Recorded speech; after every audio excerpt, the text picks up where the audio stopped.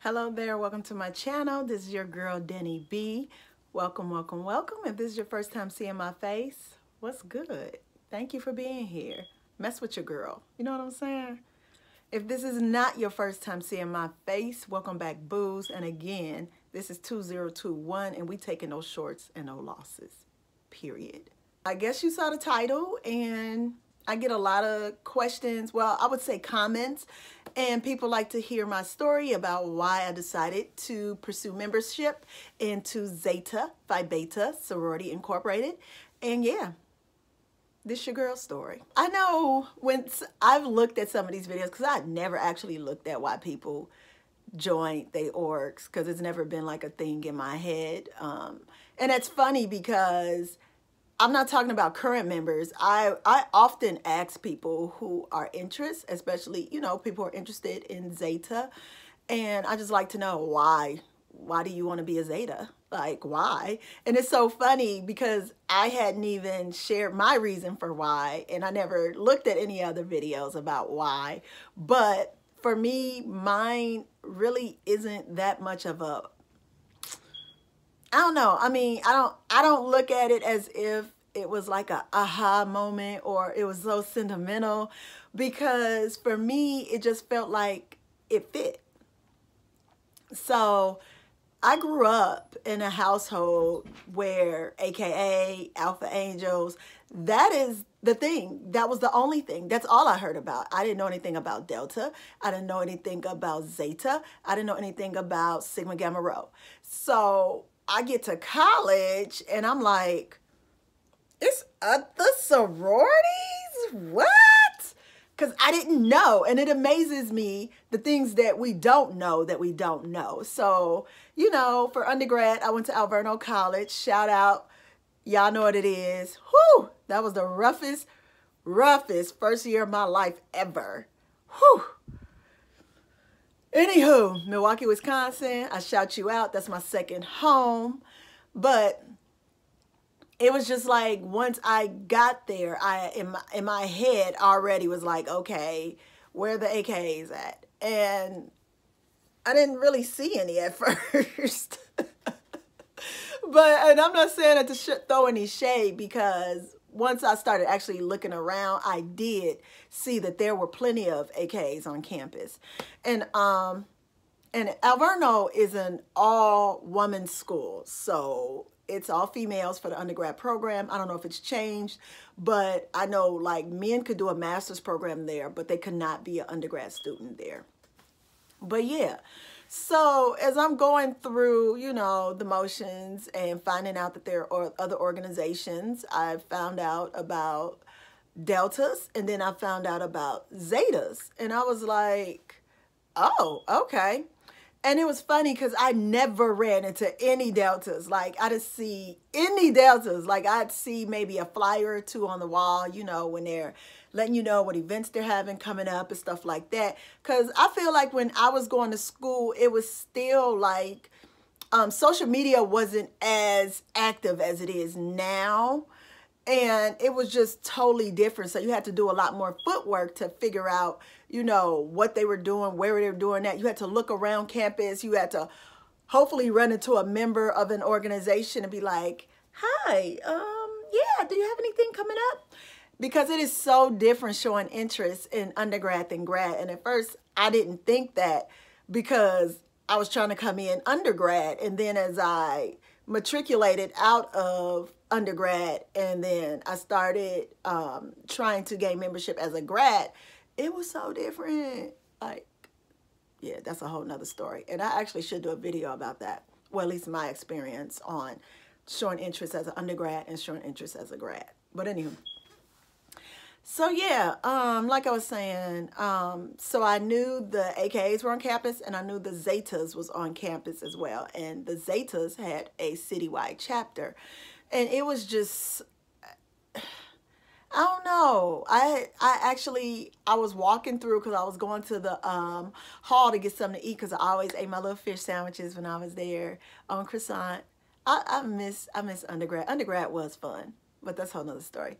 Um, grad school was a whole lot of paperwork. I anyways, I'm sorry, I got triggered real quick. But um as I was going to the hall to eat, I turned and I saw it was a flyer for an event and it was from the ladies of Zeta Phi Beta and it was it was a service event. I can't tell you which service event it was, but I was like, let me go check them out.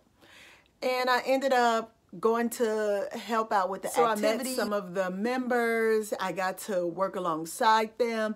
And it's so crazy because I know there are some people who just, they're like, oh, I did so much research. I did this research. I did this research.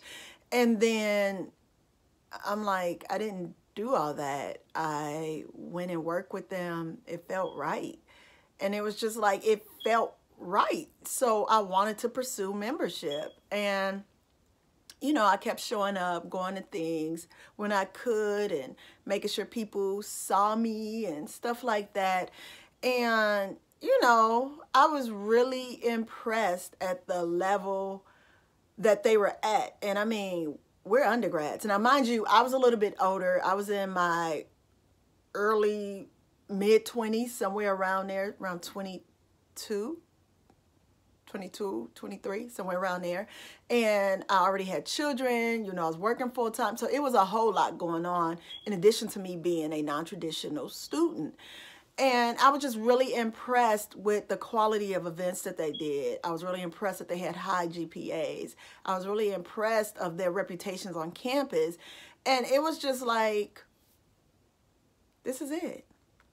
Now, of course, I didn't tell them that because I already knew from prior experience, you never tell anyone, yeah, I want to be a Zeta. You just show up. You just participate. You just donate. You just you just do what you need to do to make sure your face is seen and people know you interested. Like that's what it was. And I just don't have this long drawn out um you know, all this soft and mushy story. I don't have that because it was just so easy for me. And let me back up because people have these stereotypes about Zeta and they be trying to act like, um, you know, they take in anybody and, you know, they, they take you as you are. And I'm like, what are you talking about? I mean, I felt like I was under scrutiny. I felt like I was looked at from a um, from a lens of we are the gatekeepers and we're just not gonna let anybody in just because you're interested. And that impressed me. It wasn't you show up to the informational, here's your inform, um, membership packet. It was none of that. And so that I think it was just things like that that led me to believe that's where I needed to be. I didn't need to go to nobody else informational. I didn't need to know anything about anybody else because guess what? I found it. And I was going to do whatever I needed to do to make sure I became one of them. I wanted to be known on campus to be associated with those young ladies. That was my goal. And it's like, it was just so crazy how things happened. And then somehow I ended up graduating early and I missed my opportunity of being able to become a member in undergrad. And I was just so hurt, like the things that happened.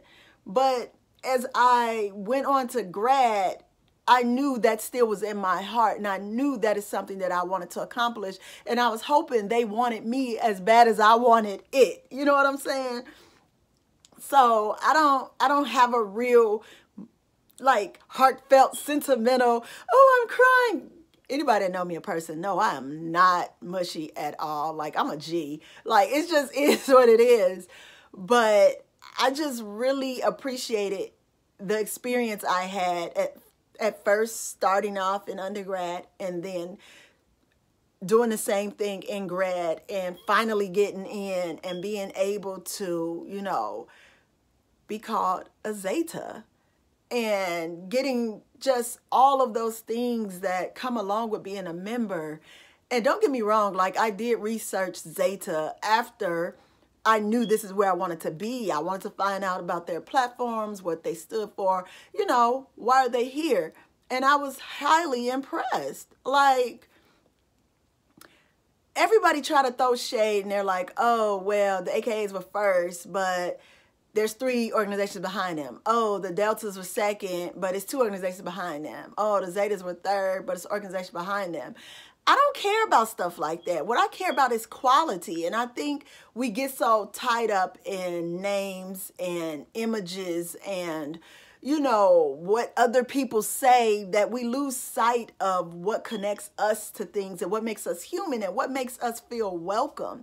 And I knew Zeta was where I wanted to be and I wanted that welcome, that official welcome, that you will be one of us welcome. And when I got it, it was just like, oh my God, I've been waiting for this. And it was so crazy because I know people talk about when they become members, they're like, I ain't got the money. Yo, your girl was ready. I had my money ready, willing, and able. Had, look, money in hand, like, let's do this. I've been waiting on this. And it's just like, I don't think anything compares to that feeling to when I got invited for membership into my dream organization. And it's just like, you have to move the way you feel is right. So again, don't force anything. Like if it didn't feel right, don't try to do this just because you want some letters. Come into this organization, if you get picked, come into your organization like with fresh eyes. You're open. You're like a, a, a deer caught in the headlights. You're trying to soak in all the information because guess what? it's a lot more to it than what people think. They think, oh, all you do is party and do this and, you know, you, you hang out with the Sigmas and no, we actually do more stuff than that. Like, don't get me wrong, we do be partying. But we get work done, we get service in, and we build that community with our brother and sister Greeks as well. And I think the main thing that I did appreciate once I became a Zeta is the sisterhood. And I continuously get paid in dividends through that sisterhood because I've met some women who are phenomenal, who have welcomed me in, didn't know me from Jack, but because we had the same letters on our chest, they took me under their wing, fed me information, groomed me into the Zeta that I am today. And I want to thank all of those Zetas all of my sorors, all of my sisters who have been there with me on this 13 year journey and who will be there with me for a lifetime. I'm not here for a minute. I'm here for the long haul. Long haul.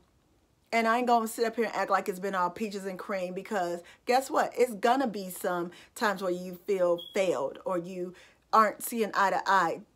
That's part of it women in general, y'all just ain't gonna always get along. And you know what? I think if we all thought the same, it would be a pretty boring organization. So yeah, that's pretty much all I got. Oh, let me add, coming into an established organization is something that I expected. So I don't want people to feel like, again, that stigma they put on Zeta as if we just let anybody in, come as you are. Nah, this ain't that. We are not, we ain't Jesus. You know what I'm saying? That ain't us. And don't get me wrong, that's the point of it being a sorority.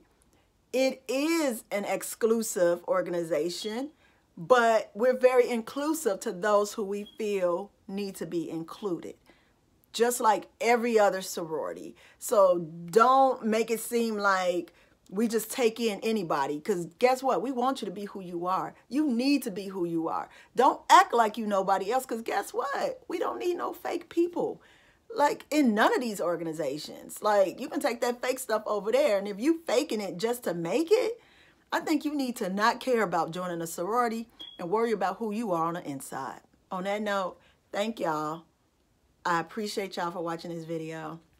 If you rock with your girl, make sure you hit me up with a subscription. Make sure you give me a like to let me know you like these kind of videos and I'll continue to make them. I'll see y'all next time.